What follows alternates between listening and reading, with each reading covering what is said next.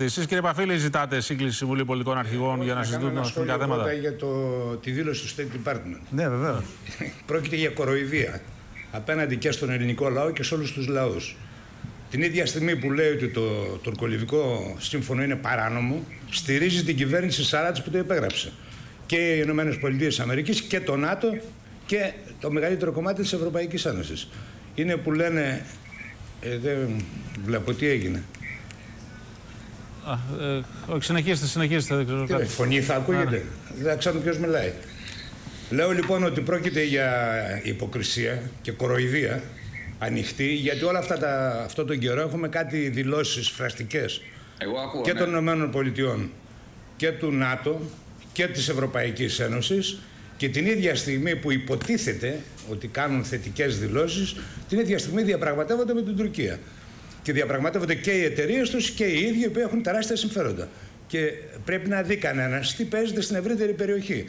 Και ξέρετε κάτι, όλος αυτός ο μύθος που καλλιεργούν όλα τα κόμματα, τα- εκτός ΚΚΕ, ότι το ΝΑΤΟ και η Ευρωπαϊκή Ένωση μας προστατεύει, έχει καταρρεύσει κυριολεκτικά.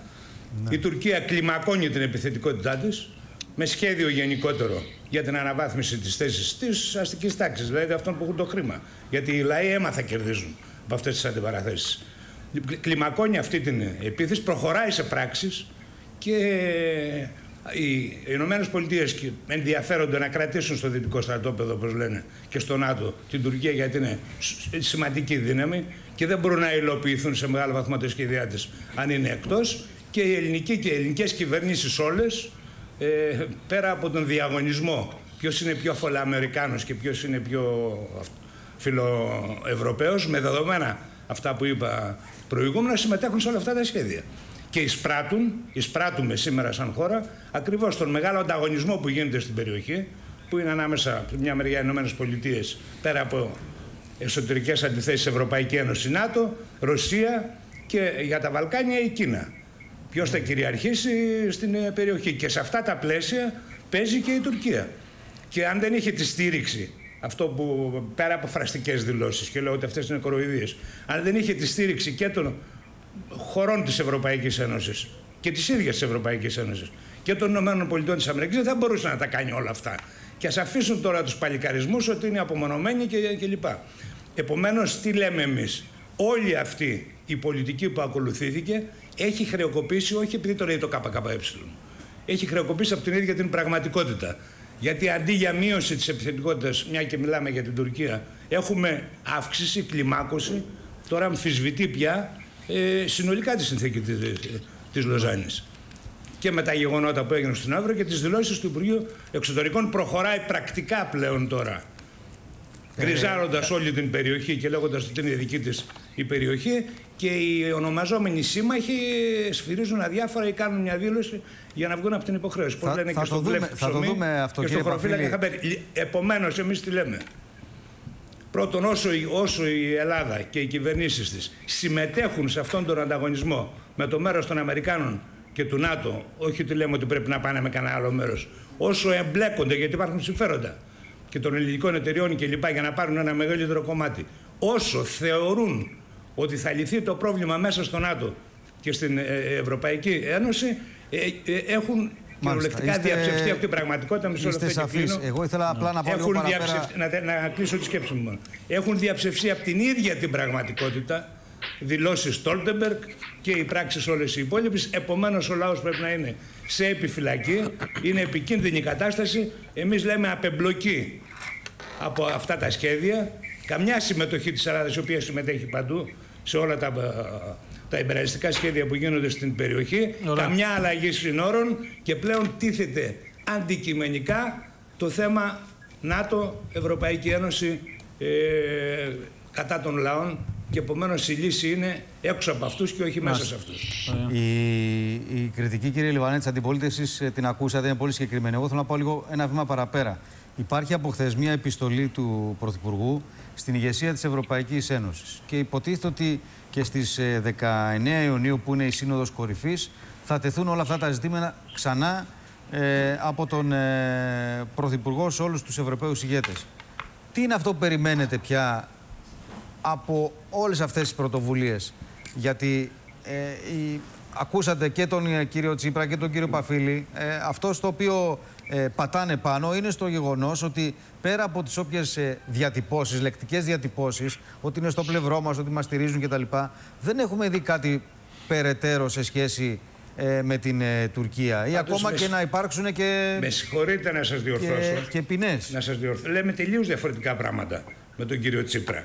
Ο κύριος Τσίπρας όταν, όταν ήταν Δεν- στην κυβέρνηση, δεν είπα εγώ όταν ότι στην λέτε το κυβέρνηση ίδιο ο πράγμα. ΣΥΡΙΖΑ, Είπα απλά- ακολούθησε ακριβώς την ίδια πολιτική και μάλιστα πιο πέρα ακόμα. Γέμισε Είναι την Ελλάδα καθόλου, βάσης. κύριε Παφίλη, δεν- Είπε τον Τραμπ ότι είναι και δεν έχει βγάλει Δεν τα- άχνα μέχρι δεν τώρα σας για όσα ταυτίσαμε γίνονται. με κανέναν. Άρα, όχι, θέλω. Εγώ είπα ότι τα υπόλοιπα κόμματα και η κριτική που κάνουμε εμείς είναι από τελείως διαφορετική σκοπιά. Εδώ είναι, πώς να το πω, εσωκομματική διαφορά. Α πάνε στον κύριο Πάετ να κάτσουν στο τραπέζι Ωραία. που συζητάνε όλη την ώρα και στο ΝΑΤΟ και στην Ευρωπαϊκή Ένωση.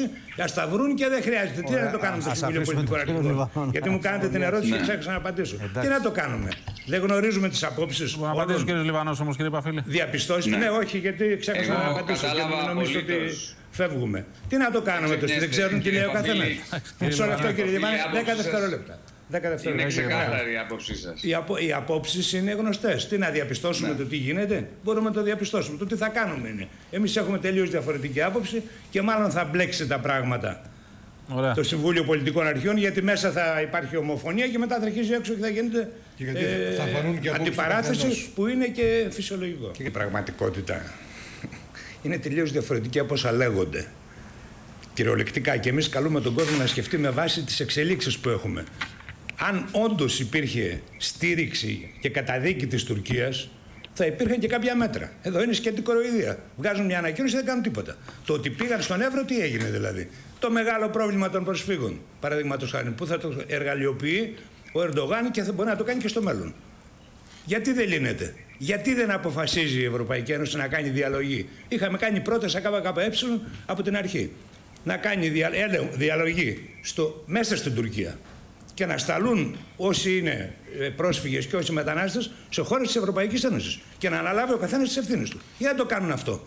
Γιατί ισχύει ακόμα το Δουβλίνο που εγκλωβίζει ε, χιλιάδες, δεκάδες χιλιάδες ανθρώπους στη χώρα μας η οποία είναι αναγκαστικό πέρασμα. Δεν είναι επειδή είναι όμορφη. Όπως και κατά δεύτερο λόγο στην Ιταλία και στην Ισπανία.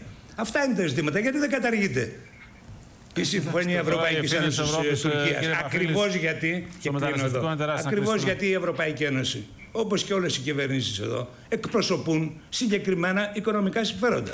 Η, Τουρκία, η οικονομία της Τουρκίας είναι μεγάλη, πέρα από τη στρατηγική σημασία που παίζει. Είναι τα μεγάλα κεφάλαια, οι μεγάλες πολυεθνικές μέσα και έχουν τεράστια συμφέροντα. Όπως και αυτό που γίνεται στην περιοχή είναι ακριβώς το ίδιο. Οι λαοί δεν έχουν να χωρίσουν τίποτα. Αυτοί που ανταγωνίζονται σήμερα είναι αυτοί που κατέχουν τον πλούτο. Ποιος θα πάρει το μεγαλύτερο Ωραία. μερίδιο. Κύριε και Παφίλη. Για να, αυτή για να η- η, πρωτοτυπήσω, κοινή εγώ πολιτική συμφωνώ τέλειωση. με τον κύριο Παφίλη ότι πράγματι και το Α, θα το δούμε και Δουβλίνο αυτό τώρα. είναι στόχος της κυβέρνησης να αλλάξει. Λιβανέ, Και η τι στόχος συμφωνία του- Ελλάδας. Κύριε Λιβανέ, ολοκληρώστε τις Παφίλης, όμως δεν έχει Κύριε Κύριε χρόνο. Λιβανέ, το Τους νέες Δουβλίνο δημοκρατίες το που καταψηφίσαμε είναι- μόνο είναι εμείς. ενδιαφέρον. Μισό λεπτό, κύριε Τσίπρα. Τι μισό λεπτό. Αφήστε. Έχετε μιλήσει το δεκαπλάσιο από μένα. Κύριε Τι Παφίλης, να σας Δίκαιο, κάνω κύριος τώρα; Παφίλης. Λέω λοιπόν ότι το, το Δουβλίνο, αλλά για είναι να μια ξέρει και ο κόσμο. εξελισσόμενη Κύριε Λιβανέ, ιστορία. σας Μισό λεπτό. παρακαλώ. Κύριε Ακούστε Λιβανέ, με. δεν Το έχει μόνο αυτό. κόμμα που το καταψήφισε και μας θεωρούσαν γραφικού ήταν το ΚΚΕ στο Ευρωκοινοβούλιο. Ωραία, κύριε Παφίλη, Λοιπόν, εσείς το Μια στηρίξατε όπως στηρίζετε και όλες τις αποφάσεις της Μια Ευρωπαϊκής τελεία. Ένωσης. Λοιπόν, σωστά. Επομένως, λέω, οι λαοί δεν έχουν κανένα συμφέρον. λοιπόν, Αυτοί που ανταγωνίζονται για το οποίο θα πάρει το μεγαλύτερο μερίδιο είναι οι πολυεθνικές Ωραία. Και είναι και τα, οι κυβερνήσεις τις οποίες στηρίζουν και εκεί δεν πρόκειται να βρούμε Και σου έχω πει. προκοπή και Μία τελεία, συμμάχους κύριε στους Παφίλη, λαοί. Τον κύριο παρακαλώ. Παφίλη.